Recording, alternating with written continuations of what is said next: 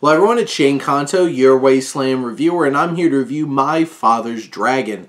And this is a new animated film from Netflix brought to you by Cartoon Saloon, who is my favorite animation studio, bringing us The Secret of Kells, Song of the Sea, The Breadwinner, and Wolfwalkers, which was my number one film of 2020.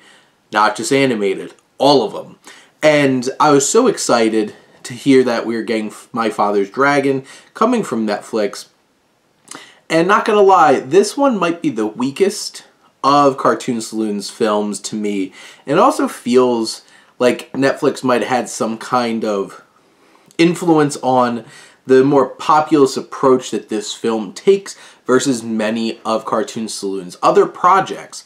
Because a Cartoon Saloon film doesn't just stand out because of the 2D animation and the gorgeous animation, which this film has both of those things. It stands out because there's a different feel, there's a different weight to everything. And you do get those moments throughout this film. There's particular moments about this young boy, Elmer, who has a single mom who's trying her best to take care of him, and they have a confrontation. And there is weight to it, there is sadness to it, there is pain and regret. And you don't see that as much in a lot of mainstream studio animated films. So this film still does deliver that. It just doesn't deliver that weight throughout the whole entire film. There are definitely moments where it leans into a more populist approach of humor, a little bit more silly, dumb humor than you would ever see in another one of Cartoon Saloon's films. You could tell this might be made for a little bit younger, except there are moments where it does hit the same way that the other films from Cartoon Saloon do, and they get dark at moments and are really impactful. And this film gives me like up vibes in terms of like you have this emotional hook at the beginning of the film. Obviously, this is not the same level of emotion that that does, but it does still deliver quite a bit of emotion. And I do feel like director Nora uh, Twomey was able to really hit home with a lot of the emotions here and balance a tone, which has some sillier moments, but also some heavier moments um, especially towards the climax of this film where we have our young dragon Boris trying to, you know, get out of his present situation, this chained up dragon.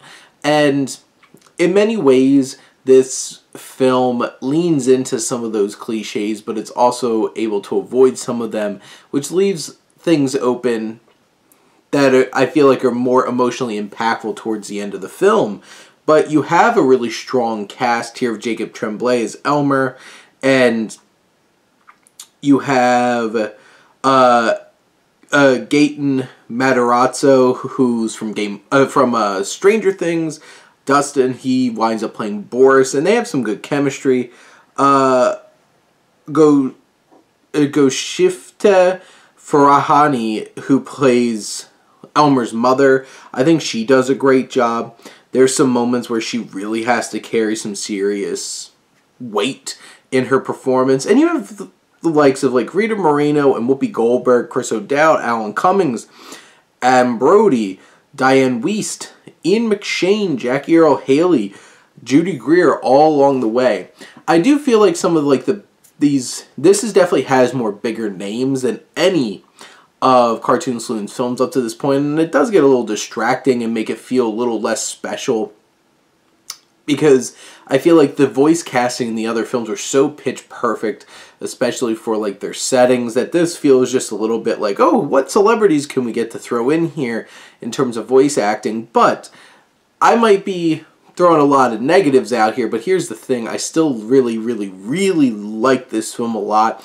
I still feel like it stands above a lot of other things that I've watched. It's just compared to Cartoon Saloon, who usually hits home run after home run, dingers and dingers and dingers, this one feels a little bit more like a triple, which is still amazing and we like it, but it does have some elements that make it feel a little bit lacking.